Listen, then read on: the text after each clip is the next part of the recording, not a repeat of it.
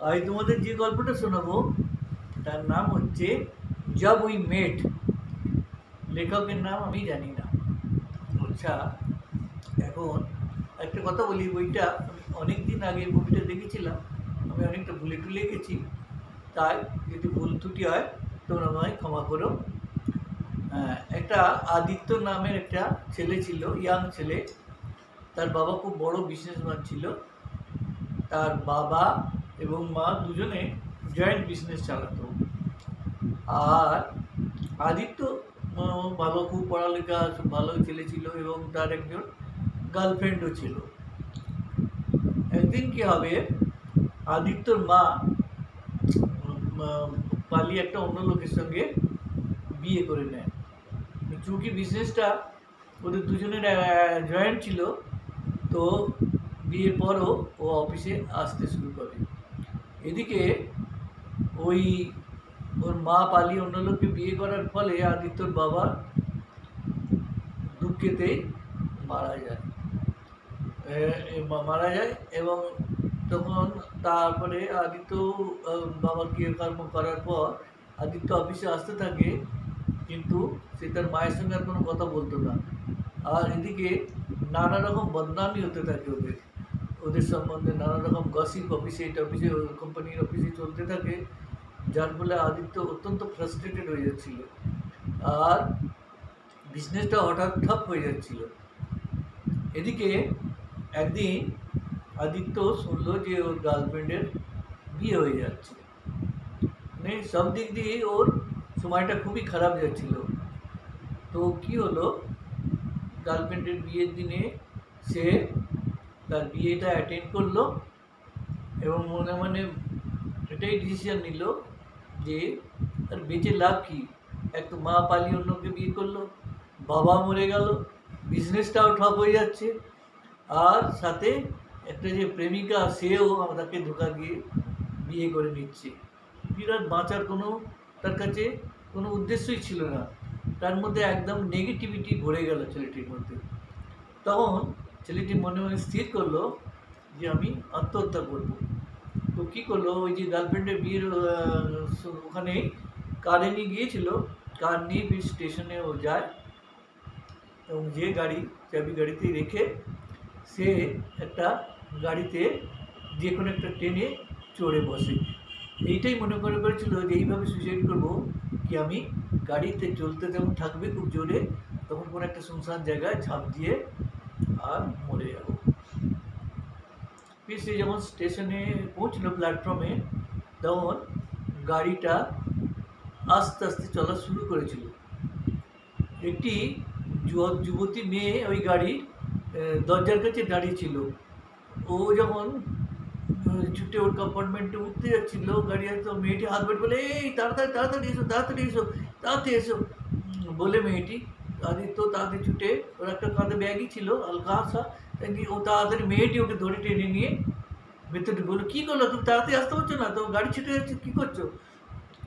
তো ছেলে বেশি কিছু বলেনি ছেলেটা ছেলেটা কী করল? ওই দরজার কাছেই পাশে একটা কম্পার্টমেন্টে বসতে চাইছিল। মেয়েটা বলল, এখানে কেন বসছো? চলো আমার সিটের ওখানে চলো, ওখানে অনেক জায়গা আছে।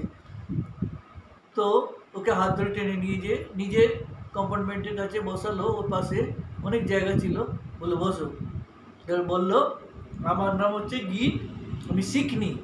মানে আমি শিখ এ, সর্দারজি যাদের বলে তাদের তাদের শিখ ধর্মের একজন মেয়ে আমি।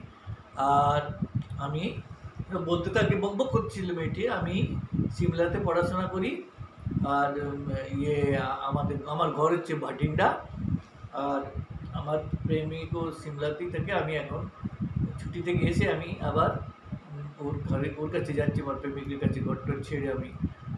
তো এইসব বলতে থাকে ও চুপচাপ শুনতে থাকে। বলে এই তুমি কোনো জবাব টবাব দিচ্ছ না? বলে হ্যাঁ হ্যাঁ হ্যাঁ, ঠিক ঠিক আছে ঠিক আছে শুনছি আমি শুনলাম শুনেছি। তারপরে কি হয় কিছুক্ষণ পরে একটা বড় স্টেশন আসে। বড় স্টেশন আসতে ছেলেটি নেমে যায়। মেয়েটি ভাবে হয়তো কোনো চাটা খেতে গেছে। তো ও একটু দেখতে থাকে দেখছে দেখছে ছেলেটাকে ওয়াচ করছে এ ভা- হাব ভাব তো বেশ ভালো লাগছিল না ছেলেটা চুপচাপ গুমসুম হ্যাঁ তো এরকম করে অনেকক্ষণ থেকে যখন গাড়ি ঘন্টি বেজে গেছে হুইসেল বোর্ড যাচ্ছে গাড়ি ছাড়বে তখনও দেখছি ছেলেটা ওঠার কোনো আগ্রহ দেখছে না তখন ওই মেয়েটি যাচ্ছে বলে এই এই, এই তুমি উঠে এসো উঠে এসো উঠে এসো উঠে এসো ও তো উঠছেই না ওই ছেলেটা তো মেয়েটি কী করল কী হলো তুমি উঠছো না উঠছো না গাড়ি ছেড়ে দিল তো তবুও ছেলেটা উঠছে না, তখন মেয়েটি গাড়ি থেকে নেমে পড়ে। গাড়ি থেকে নেমে পড়ে ছেলেটা হাত ধরে বলে, কী হলো কি? তোমার জন্য গাড়ি ছুটে গেলো, দেখো। বললাম আমি তোমাকে বলেছিলাম গাড়ি থেকে নামতে। বলে আরে, এ তো উল্টো চোর কোথাও আলকে ডাকতে? হ্যাঁ আমি তোমাকে তোমাকে নাম, তুমি গাড়িতে থেকে নেমে তোমাকে ডাকছি বা শুনতেই পাচ্ছ না, তুমি শুনছো না, কী ব্যাপার? দেখো তো, তোমার জন্য আমার গাড়ি ছুটে গেলো, আমার সামান টামান সব কিছু। এখন কি হবে? আমাকে তোমার বাড়ি, আমাকে তাড়াতাড়ি পৌঁছতে হবে আমাকে। তো বলল আমি কি করব? বলল আমি জানি না আমাকে যেমন করে আমার গাড়ি আমাকে আমাকে গাড়িতে পৌঁছে দাও আমাকে।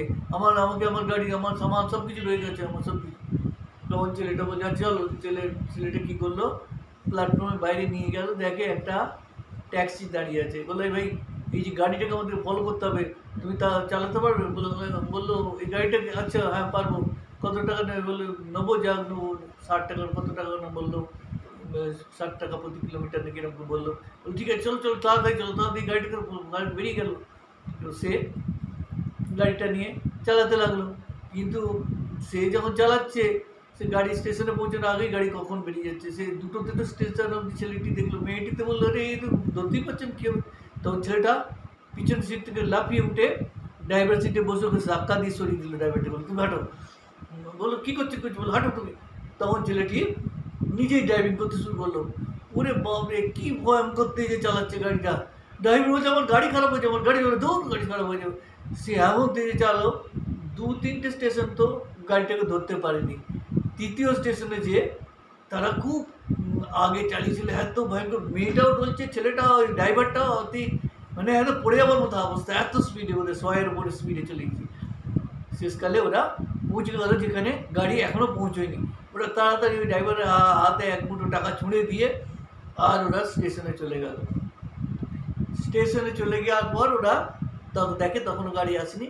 ওরা ওর যে পৌঁছাবার একটু পরে গাড়ি এসে পৌঁছলো। তখন ওরা ওদের কম্পার্টমেন্টে বসে গেল।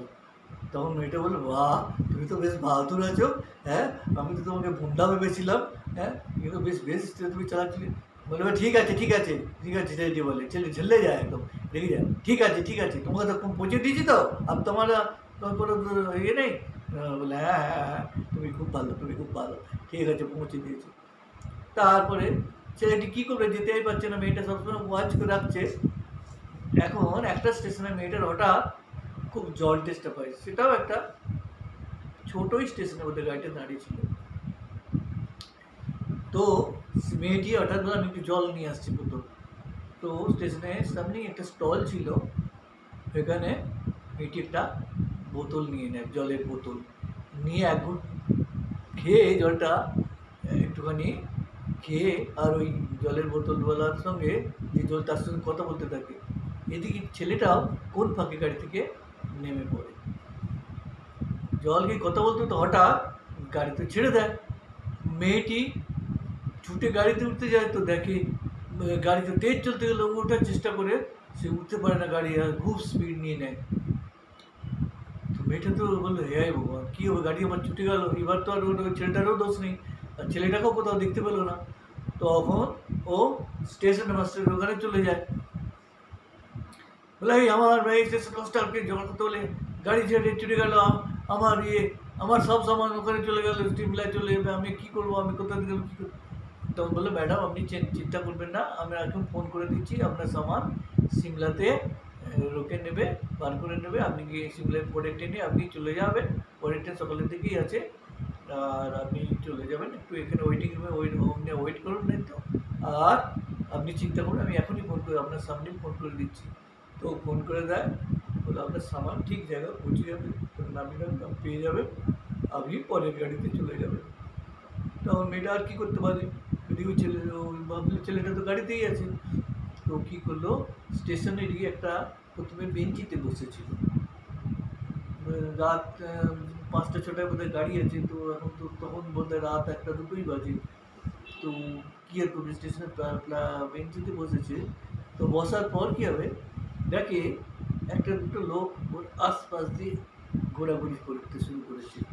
খারাপ নজর নিয়ে। একা মেয়ে স্টেশন শুনশান স্টেশন তো ওর আশেপাশে ঘোরা শুরু ওকে দেখে আরও তিনটে চারটে লোক ঘোরাঘুরি করে তখন মেয়েটি বেশ ভালো না গতি ভেবে হলো চাই প্ল্যাটফর্মে বাইরে বেরিয়ে যাই বাবা। এই তো স্টেশনে একা বসে থাকা ভালো নেই প্ল্যাটফর্মে বাইরে যাই প্ল্যাটফর্মের বাইরে গিয়েছিল। অনেক রিক্সা বলা টিক্সগুলো দাঁড়িয়ে ছিল। তো তাই জন্য ওখানে একটু বেরোতেই এই চারটি লোক তো এসেও গেল ওর পিছনে পিছনে। ওদিক থেকে আরও অনেক লোকেরা ওর দিকে ধেয়ে আসতে লাগল। তো মেয়েটা তো ঘাবড়ে গেল, কি বাবা? কিন্তু বড় বিপদ হয়ে গেল। একা রাত্রিবেলা একা মেয়ে ছিল, আর এসব চার, পাঁচ, ছটা, আট, সাত, আটটা লোক আসছে। তখন চেঁচাতে লাগল মেয়েটি, বাঁচাও বাঁচাও হেল্প মি হেল্প মি চেঁচাও চেঁচাও, বাঁচাও বাঁচাও বাঁচাও। এদিকে লোকগুলো ওর খুব পাশে আসতে শুরু হয়ে করে গেল। মেয়েটা তো অত্যন্ত ভয় পেয়ে গেছে। এ ভগবান, কী হবে আমার তখন হঠাৎ কোথা থেকে ওই আদিত্য ছেলেটা এসে যায় এবং ওই লোকগুলোকে খুব ধুনাই করে, অদ্ভুত কৌশলে সে ধুনাই করে আর মেয়ের এসব কটাকে ভাগিয়ে দেয় এবং মেয়েটা হতবাক হয়ে ওর ওই কারবাই দেখতে থাকে। আরে বাবারে, আসলে ছেলেটা আদিত্য কারাটে জানতো? তো যার ফলে সে খুব সব লোককে মেরে ভাগিয়ে দেয় ছেলেটি মেয়ে ওকে নিয়ে প্ল্যাটফর্মে নিয়ে আসি বলে আরে তুমি তো একদম বাহাদুর আছো দেখতে তুমি বন্দার মতো হ্যাঁ এই আর তুমি তো দেখি এমন গাড়ি চালাও আবার এমন হ্যাঁ তুমি আরে হিরো আছো হিরো আছো তুমি বলে আচ্ছা আচ্ছা, ঠিক আছে ঠিক আছে হিরো আছে বসে যায় ওরা ফির প্ল্যাটফর্মে ফির সকালবেলা গাড়িতে আসে ওরা গাড়িতে করে সিমলায় পৌঁছে যায়। সিমলায় পৌঁছে যাওয়ার পর গীত বলে, চলো আদিত্য আমার প্রেমিকের কাছে যাই ঘরে, আমাকে পৌঁছে দাও। বলে চলো, তোমাকে দিয়ে আসছি। এদিকে আদিত্য এই মেয়েটার কথাবার্তা ইয়েতে অনেকটা ইমপ্রেস হয়ে যায়। আর জানি না কেন ওকে এই মেয়েটিকে ভালো লাগতে লাগে এবং যে মরার প্ল্যানটা হঠাৎ কেন বদলে যায়। একটা জীবনের মধ্যে নই, নয়া একটা এনার্জি একটা নয়া উৎসাহ, একটা নয়া পজিটিভিটি ওর মধ্যে এসে যায়। যাই হোক, ও গীতকে নিয়ে ওর যে লাভার অংশুমানের ঘরে যায়। অংশুমানের ঘরে যেতে অংশুমান খুব খুশি হয়ে মেয়েটিকে একটু জড়িয়ে ধরে, তারপরে আদিত্য বলল দেখে আদিত্য বলল আচ্ছা আমি তাহলে যাই, তোমরা থাকো হ্যাঁ ও বলে, ও গীত বলল হ্যাঁ তুমি যাও। বাস, আমি তো আমার পৌঁছে গেছি মেয়ের কাছে তারপরে যখন আদিত্য চলে যায়, তখন মানে ওই অংশমান জিজ্ঞেস করে ছেলেটিকে? বলল এই ছেলেটি আমার এলে, এর সঙ্গে দেখা হয়েছিল এই আমাকে দুবার বিপদ থেকে বাঁচিয়েছে। এই সময় কাছে আজ থেকে একবার তো গাড়ি ছুটে গিয়েছিল, ও গাড়ি ট্যাক্সি করে এরকম করে বাজে দ্বিতীয়বার আমি নিজে জল খেতে নেমেছিলাম, আর তখন বাবার গাড়ি ছুটে গিয়েছিল। ও কখন নেমে পড়েছে জানি না, সব লোকেরা ঘিরে আমাকে ইজ্জত নিতে আসছিল, তখন আমাকে ওই বাঁচালো, আমাকে তোমার কাছে পৌঁছে নিরাপদে পৌঁছে দিয়ে গেল। বলল আচ্ছা আচ্ছা আচ্ছা। তো এখানে হঠাৎ তুমি কী মনে করে? বলে আমি ঘর দোয়ার সব ছেড়ে, ঘর সব ছেড়ে তোমার কাছে এসেছি। তুমি আমায় বিয়ে করবে বলেছিলে, তাই আমি কী পাগলপুর কথা বলছো? আমি তোমাকে এখন কী করে বিয়ে করব তুমি? বলো, এই এখন এই পরিস্থিতিতে বিয়ে করা সম্ভব নাকি? বলে, সে কি তোমার জন্য আমি সব কিছু ঘর দুয়ার ছেড়ে সব আমি তোমাকে বলেছিলাম তোমার ঘর দুয়ার ছেড়ে আসতে। তুমি হঠাৎ ঘর দুয়ার ছেড়ে এলে? কম সময় একবার আসার আগে আমাকে ফোন তো করে জানাতে। বলে, আমি তো ভেবেছি তুমি আমাকে এত ভালোবাসো। আর আমি তোমাকে এত ভালোবাসি। তুমি আমাকে নিশ্চয়ই নিয়ে যে বিয়ে করবে। এ কী কর তোমার না না না, এটা সম্ভব নয়। তুমি যাও, ফিরে যাও তুমি। আমি এখন কী করে ঘরে ফিরে যাব? ঘরে যাওয়ার আমার কোন সব মুখ আছে আমি? ঘর থেকে আমি পালিয়ে এসেছি। বলে, আমি জানি না, আমি আমি তোমাকে কী করে ঘরে রাখব? বলো, কী পরিচয় দিয়ে তোমাকে রাখব? আমি তোমাকে এখন রাখতে পারব না। এটা কার বিয়ে করা আমার পক্ষে সম্ভব নয় এই মধ্যে আমার পক্ষে তোমাকে বিয়ে করা সম্ভব নয়। আমি এখন, তুমি যেতে পারবে বলে, আমি কোথায় যাব? বলে, আমি কি করতে পারি বলো? তখন মেয়েটি বলে আচ্ছা ঠিক আছে চলে যাচ্ছি। চলে গিয়ে ওখানে সিমলা একটা চার্চে, চার্চ ছিল। ওখানে অনেক দুঃখী মন নিয়ে সে এখানে বসে থাকে তো চার্চের একজন নান নান বোঝেন তো যাদের খ্রিস্টান মিশনারি মহিলারাদের নান বলে মানে খ্রিস্টান মিশনারি সন্ন্যাসী সন্ন্যাসিনী সে ওকে দেখে একটা মেয়ে দুঃখী হয়ে যায় চার্চের ওখানে বসেছে বলো কী হয়েছে বেটি তোমার क्या हुआ क्यों बेटी हो ऐसे वो ओके बोले बोले कोई बात नहीं तुम चिंता मत करो तुम आ जाओ यहाँ अंदर तुम्हें मैं यहाँ कोई जॉब दिला दूंगा दूंगी ঠিক আছে? তো তোমাকে আমি কোনো কাজ দিয়ে দেবো, তুমি নিজের জীবন আলাদা, ভালোভাবে শুরু করো, আলাদাভাবে শুরু করে ক্রাইস্ট যা করে, সব ভালোর জন্যই করে, তুমি নিজে জব করো, নিজের পায়ে দাঁড়াও, যা ভুল করেছ করেছ, ওই তো মেয়েটি ওখানে একটা স্কুলে টিচারের জব দিয়ে দেয় ওই নানটা ভগবান একদিক বন্ধ করে তো একদিন তো বা, একদিকে আবার খুলেও দেয় রাস্তা। তো এইভাবে গীত ওখানে টিচার টিচারগিরি করতে থাকে। এদিকে গীতের বাড়ির লোকেরা অনেক দিন কোনো খবর না পেয়ে ওরা হঠাৎ ওরা একদিন আদিত্যর অফিসে আসে। বলে, আমাদের গীত কোথায়? গীত কোথায়?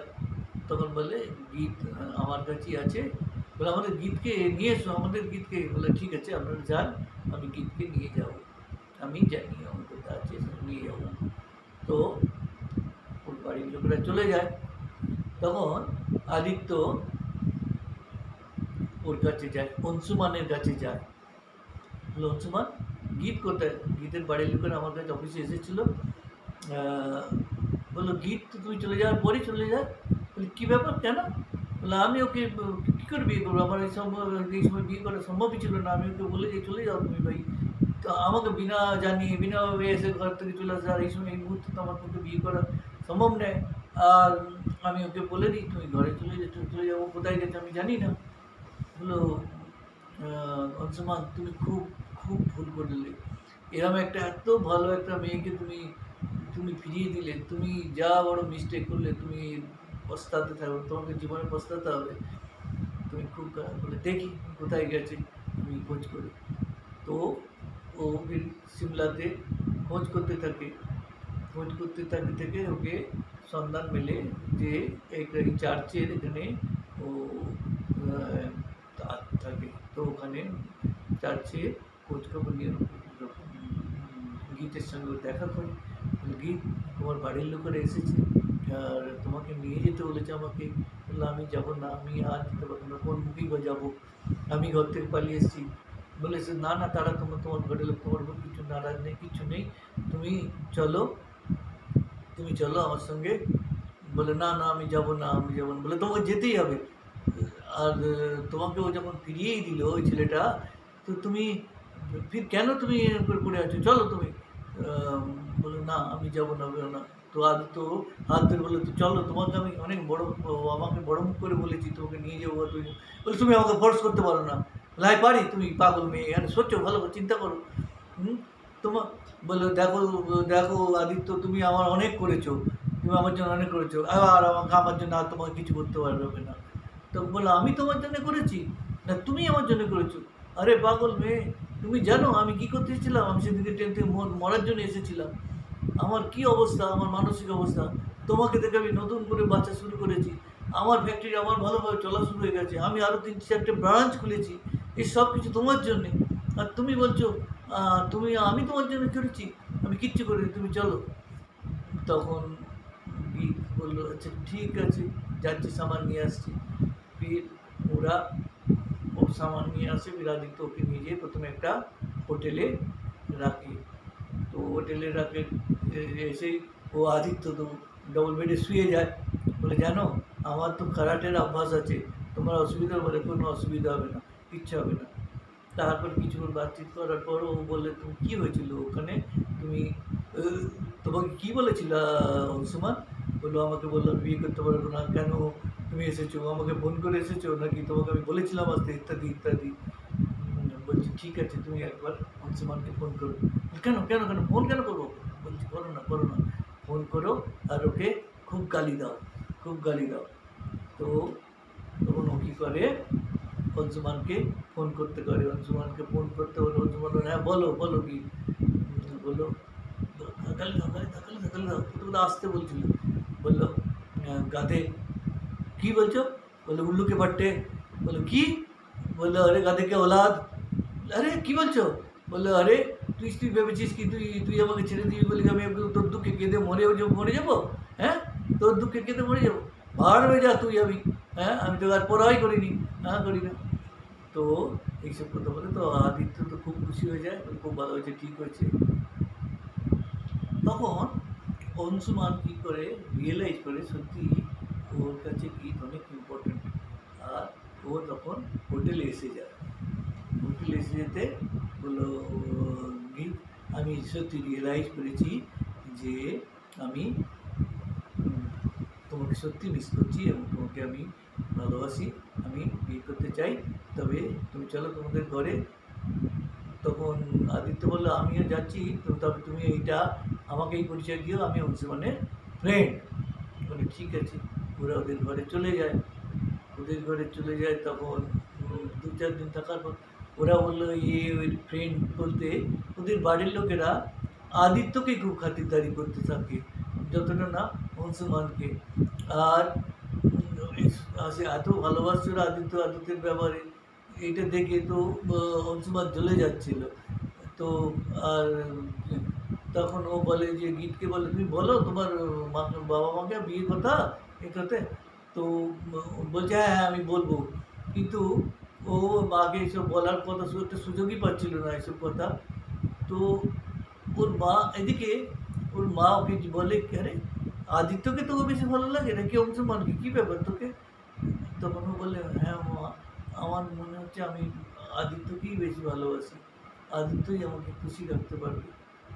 হ্যাঁ, তো তখন ওই ছেলেটা আর এদিকে তো খুব জ্বলেই যাচ্ছিল। আর তখন ওই সব শুনে না যেমন যে মা আমি আদিত্যকেই ভালোবাসি। এই কথা শোনার পর অংশমান ওখান থেকে চলে যাবে। আর ওদের বাড়ির লোকেরা ভেবেছিল ও বলল যে আমরা তো ভেবেছি তোমাদের বিয়ে হয়েই গেছে। যাই হোক, সামাজিক রীতি অনুযায়ী তোমাদের আমরা বিবাহ করিয়ে দিচ্ছি বলে গীতের সঙ্গে আদিত্যের সামাজিক নিয়ম অনুসারে বিবাহ হয়ে যায়। আমার আজ এখানেই খতম, সমাপ্ত হলো। তোমাদের কেমন লাগল? শেয়ার করো, লাইক করো, আর, ও পারো তো সাবস্ক্রাইব করো। আর গল্পটি অনেকদিন আগে দেখেছিলাম মুভিটা, তাই ভুল ত্রুটি হতে পারে, তার জন্য তোমরা আমায় ক্ষমা করো। ধন্যবাদ।